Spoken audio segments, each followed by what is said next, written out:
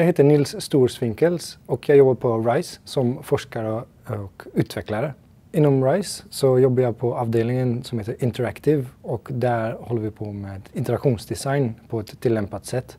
Jag brukar sammanfatta det med att det handlar om hur teknik och människor eh, jobbar tillsammans. Vi har väldigt många projekt eh, som handlar om utbildningssystemet. Bland annat så har vi gjort projekt eh, kring Eh, hur programmering introduceras i skolsystemet.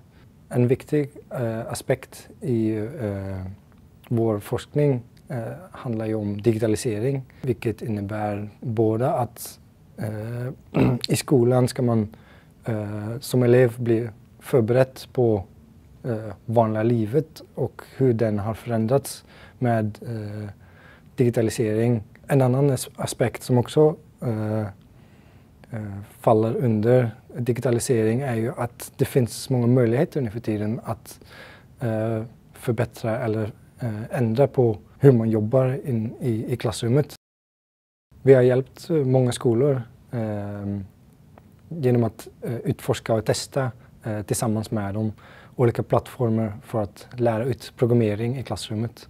Exempel på vad vi har gjort eh, är ju Eh, Eh, makermovies.se. Det är en hemsida där vi har lagt upp uh, många instruktionsfilmer. Med Microbit har vi också uh, haft en turné uh, tillsammans med Skolverket där vi gick runt genom hela Sverige och har hållit workshops för tusentals lärare i hur de kommer igång med Microbit i en klassrum. Vi har också skapat en hemsida mermicrobit.se som är typ av stödmaterial där man eh, själv kan gå in och lära sig använda microbit.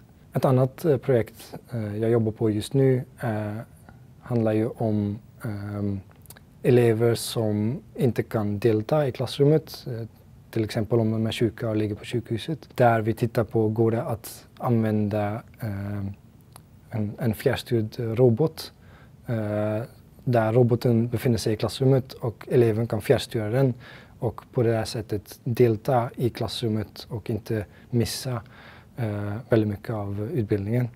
Även om lärare kanske har ont om tid, ja det har de nästan alltid, eh, så har de ändå väldigt viktiga eh, erfarenheter och idéer som också vi kan ta nytta av för att kunna hjälpa eh, skolsystemet. Så det är jättebra om skolor och, och lärare tar kontakt med oss eh, för att initiera och, och, och sätta igång processer.